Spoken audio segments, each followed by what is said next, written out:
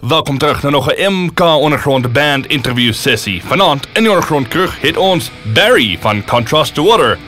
Hello Barry. How has the band adjusted to the Bay Area metal scene, considering your Durban roots?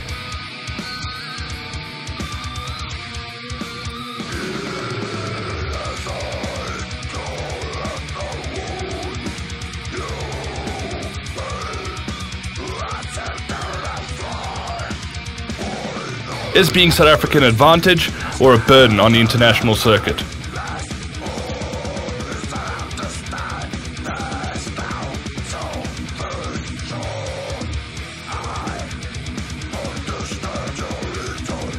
Which bands have you guys jammed with since your journey across the pond?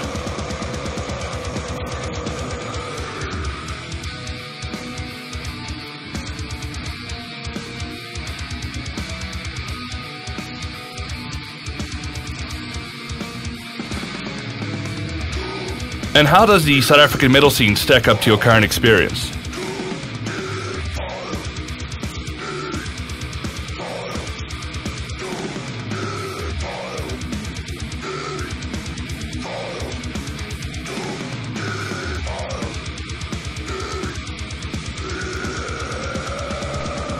Now, the infamous ABC News report debacle that got under the skin of the entire South African metal scene.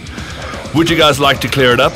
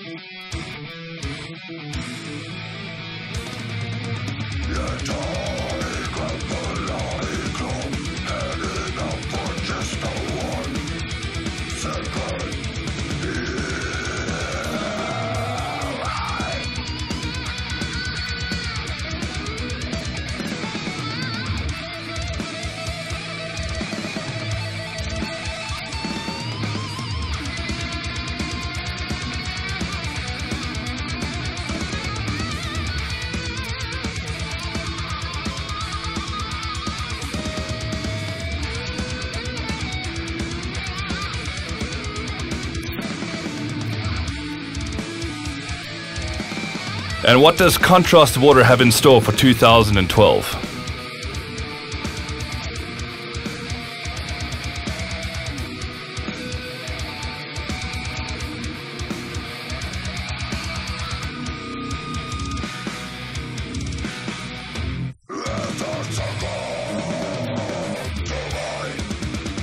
And any last words before Contrast Water conquers the first world?